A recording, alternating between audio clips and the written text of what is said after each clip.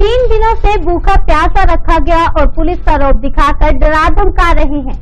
जी हाँ ये हम नहीं कह रहे, ये सब तो ये स्कूली बच्चे कह रहे हैं जो तीन दिवसीय खेलकूद प्रतियोगिता में भाग लेने आए थे। ज़िले के गाँव कवाली में आयोजित तीन दिवसीय खेलकूद प्रतियोगिता का आयोजन ग्रामीण भारत उत्थान सेवा संस्था द्वारा किया गया। जहाँ ज़िले के करीब दर्जन भर गाँवों से 2000 से ज़्यादा स्कूली बच्चों ने भाग लिया। लेकिन इस प्रतियोगिता में बच्चों के साथ भेदभाव हुआ, जिसको लेकर संस्था के संस्थापक मेजर टीसी राव के खिलाफ बच्चों ने जमकर नारेबाजी और आयोजकों पर भेदभाव के आरोप लगाए। जी हाँ हम आपको बता दें कि मेजर टीसी राव की यह संस्था एक एनजीओ है और लोगों की भलाई के उद्देश्य से पिछले कई वर्षों से कार्य कर रही है।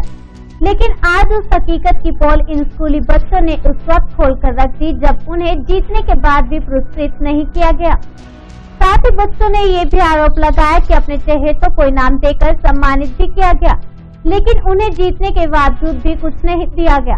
बच्चों ने ये भी बताया कि उन्हें तीन दिन से भूखा प्यासा रखा गया है और मैदान पर पानी छिड़कने के नाम पर उसकी बर्बादी की गई है। आपकी जानकारी के लिए बता दें कि मेजर टीसी राव हरियाणा में होने वाले चुनावों में कोटली विधानसभा से कांग्रेस की टिकट पर लड़ना चाहते हैं, इसलिए यह प्रतियोगिता इस इलाके में रखवाई गई थी। क्या हो गया? किस कारण से ये आप ऐसे कर रहे हो?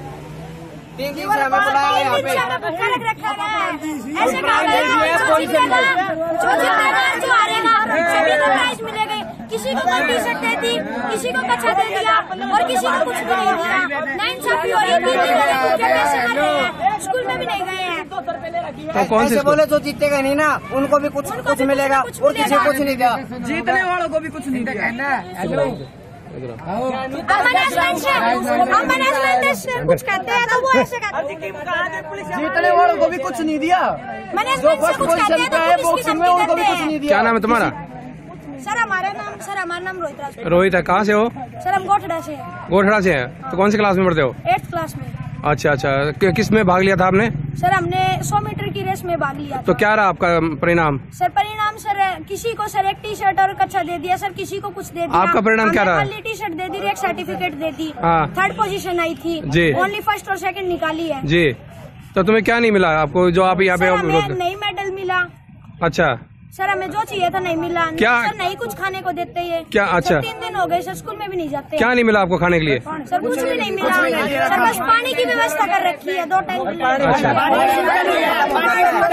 सर खत्म कर देते हैं पानी फिर लाते भी नहीं है। अच्छा। तो सर कबड्डी और बॉक्सिंग में बच्चे आए हैं किसी को कुछ भी नहीं दिया। कुछ भी इन्होंने वादा किया था धमकी देने लग रही है। क्या धमकी मिल रही है? धमकी ऐसे दे रहे हैं ऐसे चले जाओ बाहर से। अच्छा।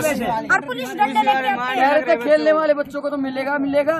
जो पार्टिसिपेट कर रहे हैं उनको मिलेगा और जो विनर रहेंगे उनको और भी ज़्यादा क्या मिलेगा? क्या क्या रिक्वायर क्या कहा था क्या मिलेगा आप लोगों ये कहा था ट्रक सूट और बीमा और अर्जुन अवार्ड। मिलेगा। और साथ सर्टिफिकेट और मेडल और ट्रैक सूट सूट और कुछ भी नहीं दिया कुछ भी कुछ भी नहीं दिया।